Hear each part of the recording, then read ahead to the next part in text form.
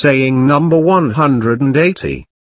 Amir al-Momineen, peace be upon him, said. In the name of Allah, the Beneficent, the Merciful. Greed is a lasting slavery.